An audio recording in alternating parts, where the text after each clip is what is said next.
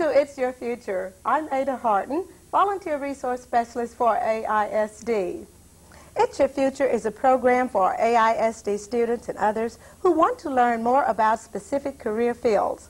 People from all walks of life will be here to share some of their experiences with you on our program, and we hope that our guests will help you become more aware of what you can do now to plan for the kind of future you want. You know, it's nice to listen to people and how they shape their lives and how they made it. And listening to these people, we hope will give you a better idea about planning your future. We have with us a very, very, very special person today. He is a communicator in all walks of life, and his name is Mr. Cactus Pryor. And thank you so much for coming by. My pleasure, Edith. My real name is Richard Pryor. Richard Pryor. Uh-huh. Oh, how about that? I know another Richard Pryor. Yeah, a lot of people do. And it gets a little confusing time, sometimes.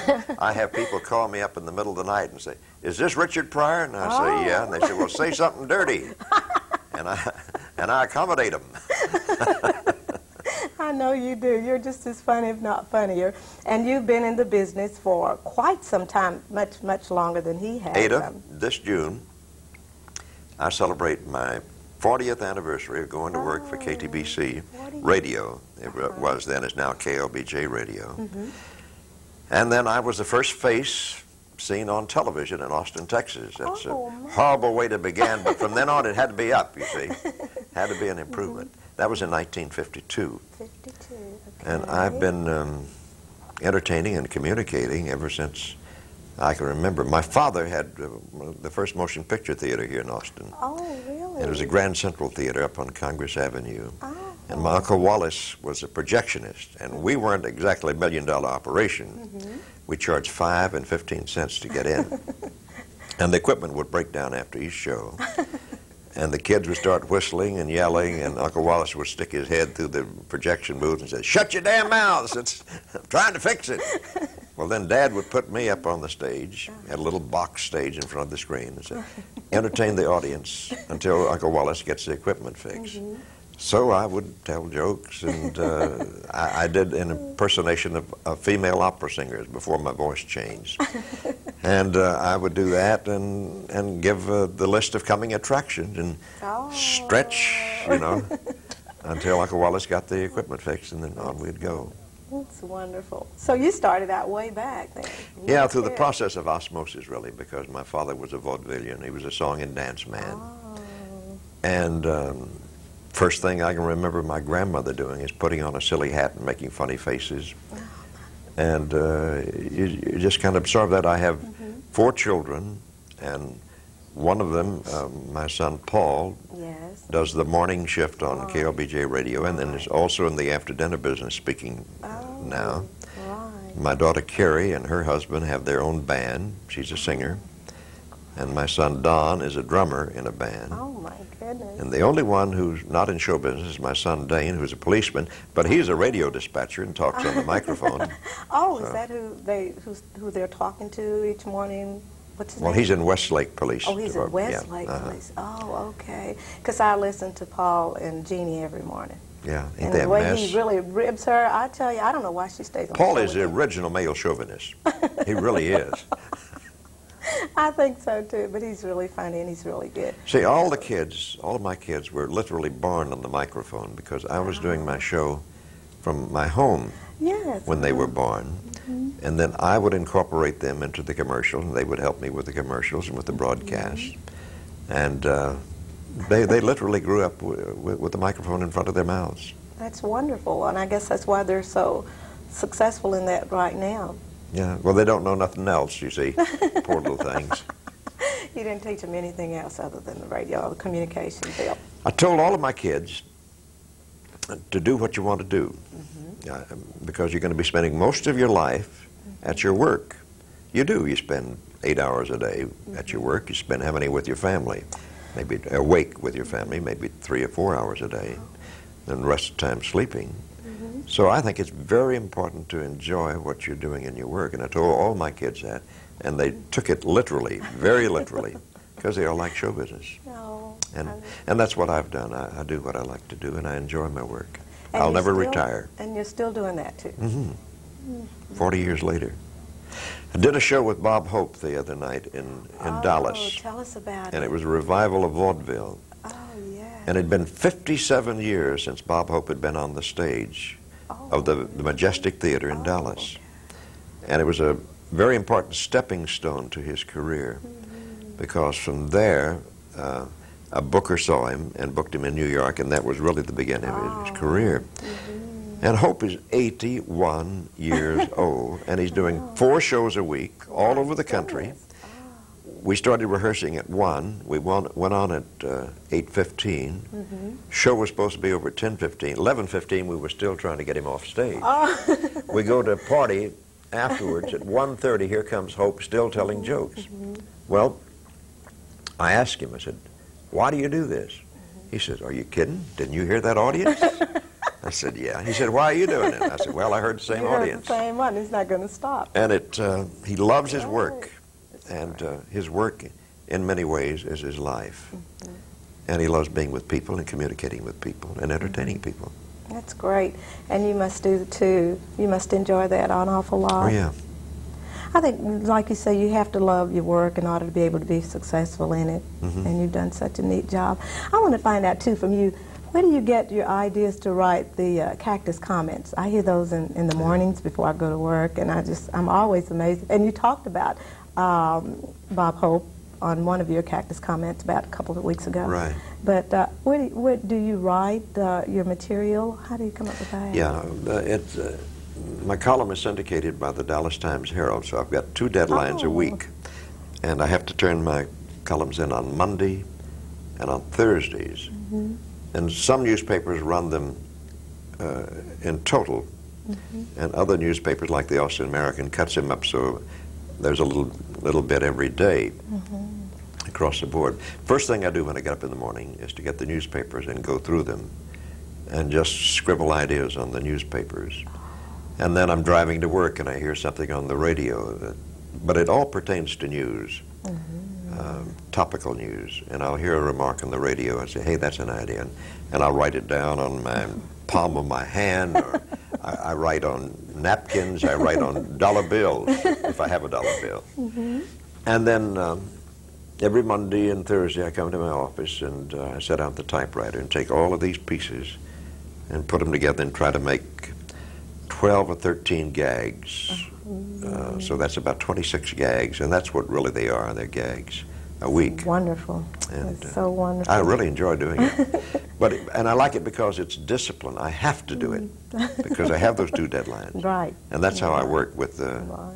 with the deadline when I have to do it. I think they were just really great. And uh, the one about, oh, what the heck, I'm going to go and drink water. You know, you talked about all the things that are not good for you.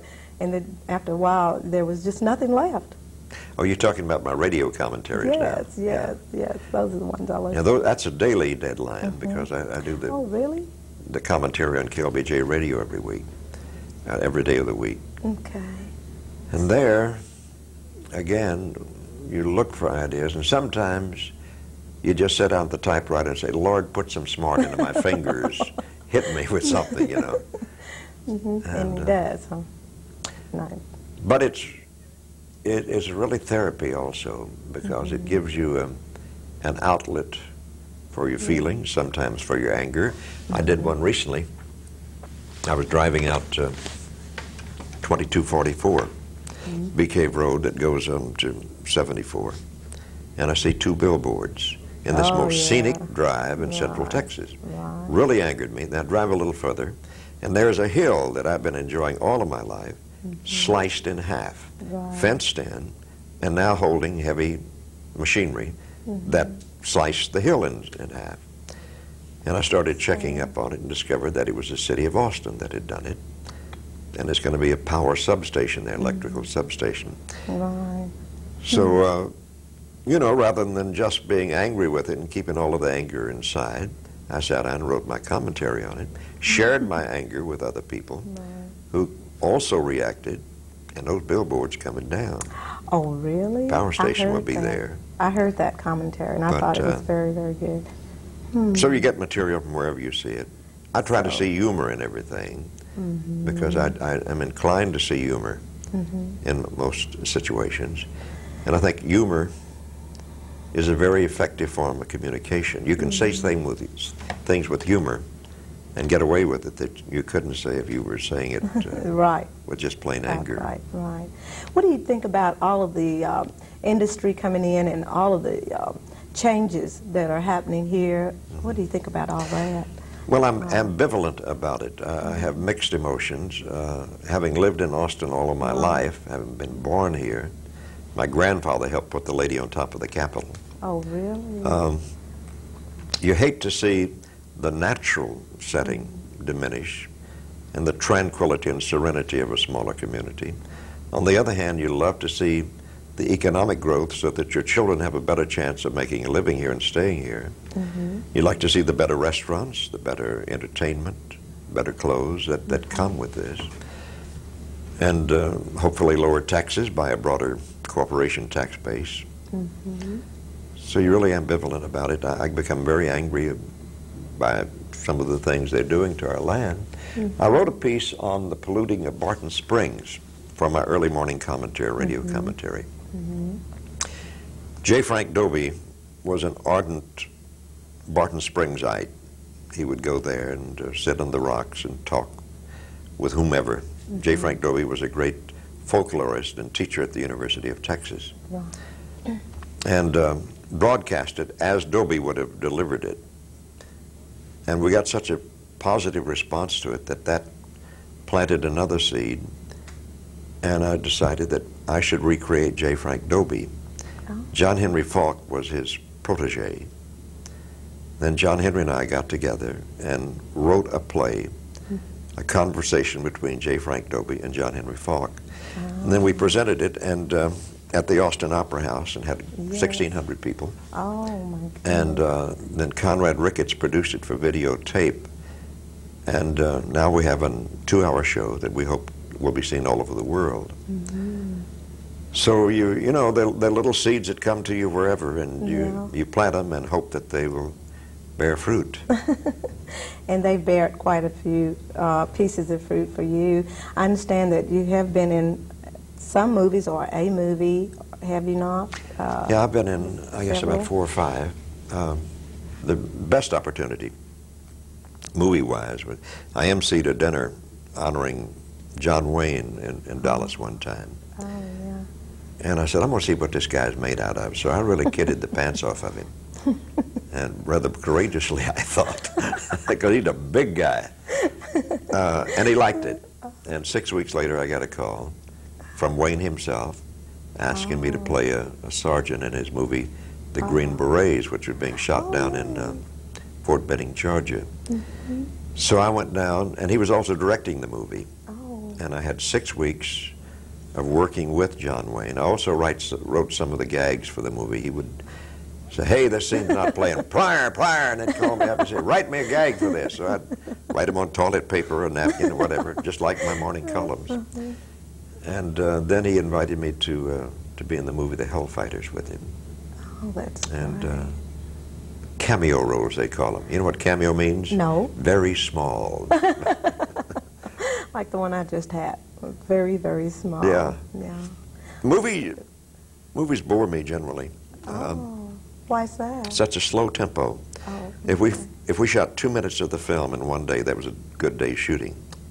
There's so much preparation, and right. you know, being in television as you are and radio, we're used to right. like this. and, uh, it's quite different. It's really not my tempo. It's quite different. Mm-hmm. So you prefer television or radio over that of movie?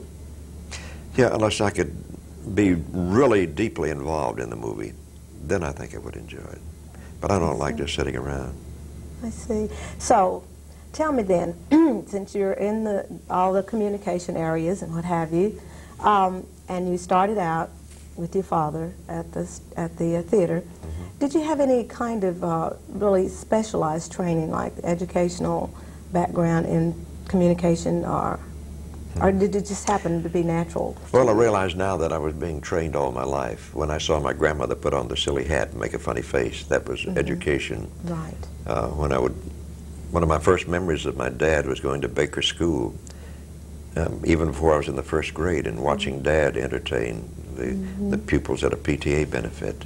I can even remember one of the gags that he told. I can literally remember it. Had a geography teacher named Mrs. Hall, and um, she was pretty geographic in her size too. She covered a couple of counties. She's a big gal. Loved to eat. And Dad said, Mrs. Hall said that she would give half her life for a watermelon. So I went out and bought her two. and I can remember that for some strange reason. And it made an impression on That was part of my training as a comedian. Yes.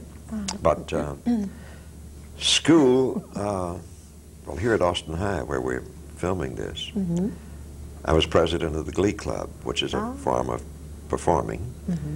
I led all of the sing songs on the at uh, at uh, sem- not seminars. What do you call it when they take a As- break? Uh, assemblies? assemblies. Uh-huh. and I would try out jokes there. Oh, And I was a member of the Red Dragons, which was a drama group. Uh-huh. So I got a lot of education from participation. When I went on to the university, I emceed the Aqua Festival. oh, I appeared in Time Staggers On, which is uh, an annual review. The Cowboy Minstrels, I would usually MC. These were extracurricular activities, but they were also mm-hmm. part of school. Right. Mm-hmm. And uh, I took every course in school that I thought would equip me to, to be an entertainer or communicator. Journalism was very mm-hmm. important to me. Speech, drama, music appreciation, voice, singing, all of these things. And, uh, and I've got to admit, I was a very poor student, but I was very good in the subjects that interested me. I made A's in those subjects. In the rest, I made F's or D's, or if the teacher was benevolent enough, a C minus. But again, it uh, those are the ones that, like you say, that you were interested in, and those are the ones that uh, uh, have led you into the area of which you're in now. yeah, and in retrospect, I can see the value of concentrating on those courses that don't interest you too. Right. uh, because I had to spend a lot of time reading, teaching myself after I got out of school, correct grammar, for example, and spelling and uh, uh, geography and the other courses that I neglected. Well, I think that's just absolutely wonderful. You know, a lot of times you don't necessarily have to have the real formal training to be able to become uh, uh, an actor like Right. you have. I know I never had a real formal acting class, Mhm. and uh, it's worked out. And part of your education is watching. Um, and I think this is a natural way as far as my business is concerned. Um, had the pleasure to go to Bob Hope and personally tell him the other day what a profound influence it had upon my life because I watched him. I watched his style, the way he forms his gags, and uh, and thanked him for being such a, a factor in my life. I'm reminded of the time that uh, the one. If you want to know the most embarrassing moment of my life, Was I a factor? Was I really? What did I do? I was working at the Headliners Uh-huh. Club, and I got off the elevator, and I was so excited, you know, about working there because it's such a neat place, and I really enjoyed it. And I, when I got when I got off the elevator, there was this person, and I said, "Oh my God, there's Bob Hope," and it was you, and you said. He said, "No, I'm not Bob Hope." He said something like, "But I wish I had his pocketbook or something." I like wish that. my banker thought that. you, thought that you're very good at what you do, Thank you. and I'm I'm a professional interviewer. I've been interviewing all my life, and you're you're one of the good ones. Well, thank you.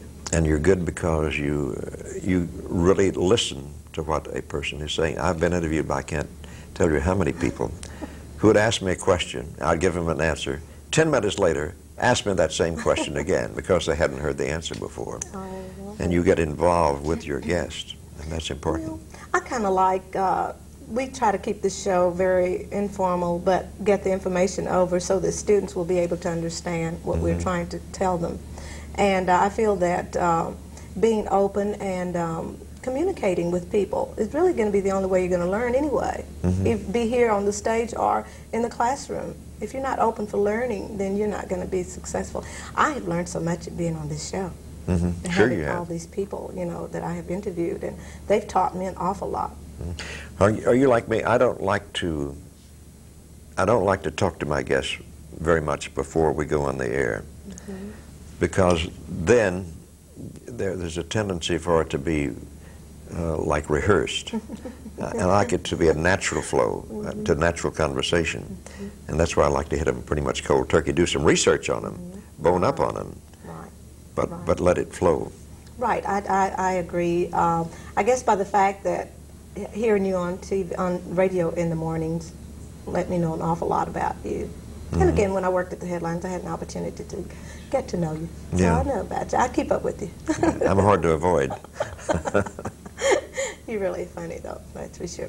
Listen, let me ask you some things about volunteer, Mm-hmm. okay? Um, tell me some of the volunteer activities that you might be involved with or organizations. Have you ever did any volunteer work for the school district? Oh yeah. I know you have. Yeah. What are some of the things? And well, that's that's uh, part of my job, really. Uh, my, my official title is um, Vice President of Community Affairs for the LBJ Company. Um, but that's just a title. It's, it's been a way of life with, with us in, in uh, radio and television uh, ever since I can remember. Uh, because part of your obligation to the community as a member of a radio station is to serve the public. Right. And that is uh, so written in, in, in the bylaws that, uh, of the Federal Communication Commission. When you're granted a license for a radio or television station, you must swear to serve the, the public. Didn't know that. But um, working for Lady Bird Johnson, it became not an obligation but a way of life, one of the blessings of life, because you know all that she's done for the, for the Oh, public and continues to Oh, do. yes. Mhm. And you absorb that, and uh, so you do it. But I've, I've been involved in almost everything is to be involved in in the community. I'm, I'm honorary chairman of the Cancer Crusade right now, I think. I believe I am. and uh, You're not sure of that. no, I, yeah, I am. And uh, just a bunch of other things. Must be exciting to work for for Lady Bird. Uh, Mm. You knew the president, and I understand that you did a lot of um, what MC commentating. for- Yeah, I, I emceed all of their functions at the uh, the LBJ Ranch. Well, back when he was a congressman, through through his presidency, and had the opportunity to chop in some real tall cotton Oh. and to meet some very important people and to to present them. Mm-hmm. The Johnsons were very, very generous in sharing the presidency with the people. I mm-hmm. mean, they could have brought in Bob Hope, or they could have brought in whomever they wanted, but they uh, they allowed me to do it, and they allowed uh, local musicians to perform, and local dancers to dance, uh, local caterers to cater, and uh, they kept it down home, and I appreciated that. Sounds so exciting. And they were, um, I had an opportunity to meet him. Again, this is from the Headliners Uh-huh. Club, and I thought that was one of the most uh, enjoyable moments for me. Yeah. Tell me, you have you ever had any disappointments in your life? Uh, One who has, who is so hum- humorous. I cannot even imagine you ever even having any kind of disappointments in any respect. But if you have, What time is it? Fifteen minutes ago. that long. Sure, you have disappointment. That's part of life. But how do you handle those? Badly. Oh, well, let me give you an example. okay. Um, Phyllis George, who was Miss America, married the governor of Kentucky, George Brown. And she invited me up to MC the gala that preceded the inauguration. And then I was going to be a personal guest at the inauguration. There'd only be about 20 people. I'd done some shows with Phyllis before. We were friends. So I wanted to do a especially good job. On the program also were Andy Williams, Oh, uh, Foster Brooks. Muhammad Ali, Oh, and Lee Majors in a ah. 35-piece orchestra, and I was the MC.